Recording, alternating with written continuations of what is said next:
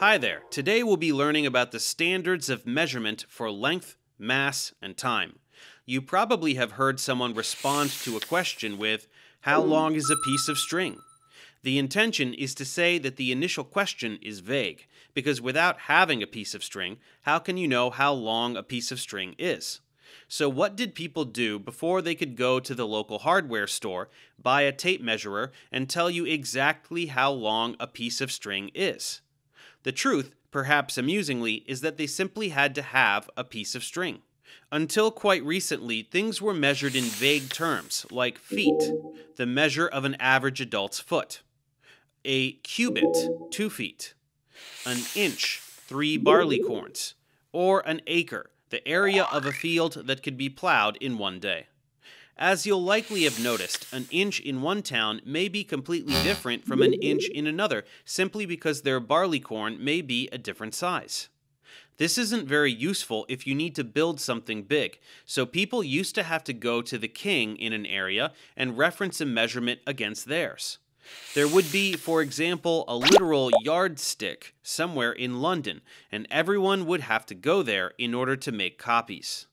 But what happens if that yardstick gets lost, perhaps in the Great Fire of London? Big brains have been trying to figure this out for a long time, and have only recently moved to a system of universal units, units that are defined in relation to universal constants. That is, things like the speed of light, which is the same all over the universe. Let's learn about some of these measurements and how we define them. Spatial measurements and the units of measurement are split into three main categories length, mass, time.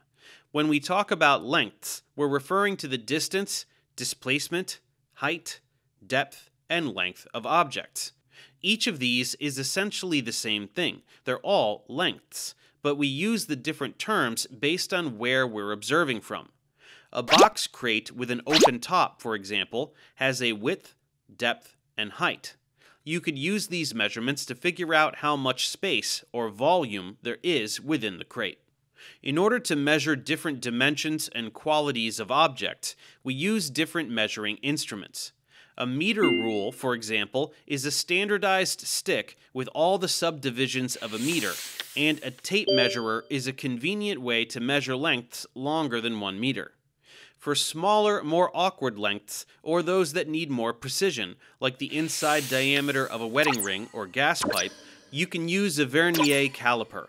If you ever want an accurate measurement of your height, you'll likely have noticed that it's difficult to get one with a tape measurer, so doctors use instruments called height gauges to measure the height of irregular objects. To measure time, we used to use the position of the sun, but now we get much more accurate measurements with wristwatches or digital clocks. When we need to measure mass, we can use a set of scales or an instrument called a spring balance. You may have used one of these to measure your luggage at the airport when going on vacation. Because we know the strength of the spring, we can calibrate the change in spring length and match that up with the weight that is hung from it. So we have length, mass, and time, but as we touched upon earlier, how we measure those things can vary dramatically. So scientists have developed a few standardized systems to make sure that we all measure things in the same way. These systems tend to be referred to via acronyms of their main units. The CGS system, for example, uses centimeters, grams, and seconds. The Standard Index System, MKS, uses meters, kilograms, and seconds. These two are usually known as metric measurements, meaning that they measure in meters. The metric system has been adopted in most engineering and scientific fields around the world because of its simplicity. To go up in orders, you either multiply by 10 or divide by 10. So there are 10 millimeters in a centimeter, 100 centimeters in a meter, and 1,000 meters in a kilometer. The other main system, which only really remains in common use in the USA and Great Britain, is the FPS system, otherwise known as imperial.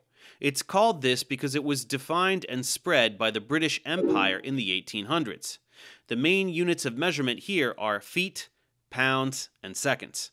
This doesn't often use powers of 10, but instead usually multiples of 3.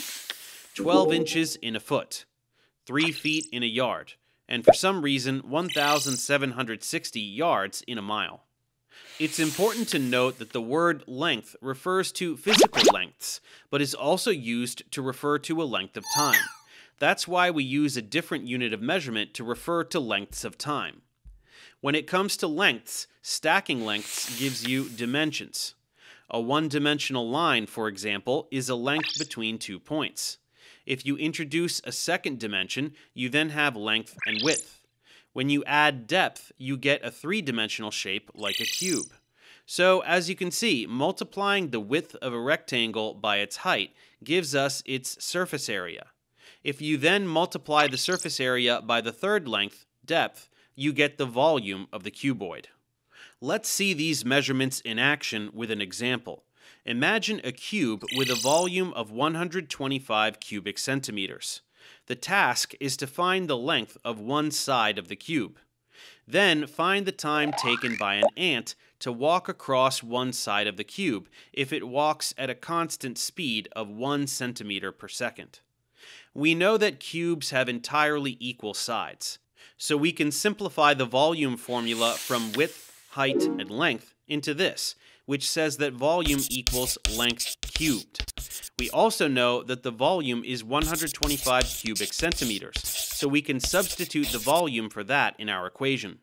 If you have a calculator handy, the easiest thing at this point would be to plug in the cube root of 125. Or if you know your squares and cubes, you'd be able to spot that 125 happens to be 5 cubed. So one length of the cube must be 5 centimeters. Learning the squares and cubes of all the numbers from 1 to 10 is a little boring, but it makes tasks like this much faster. So let's now find how long the ant takes to walk a length of the cube. Speed, or velocity, can be expressed as distance covered divided by the time taken. In this case, we know that the distance is 5 centimeters, and we know that the velocity of the ant is 1 centimeter per second. So let's begin by rearranging the formula for what we want to solve, time. Then plug in the information we know. If it travels 1 centimeter per second, then we can simply divide the length traveled by the velocity to find out how long it takes. We see then that the ant takes 5 seconds to travel along a single side. So now you're an expert on lengths, measurements, and ants. Oh, wait, you need biology class for the ants. For extra practice problems on the physics of length, mass, and time, see our other online resources. See you next time.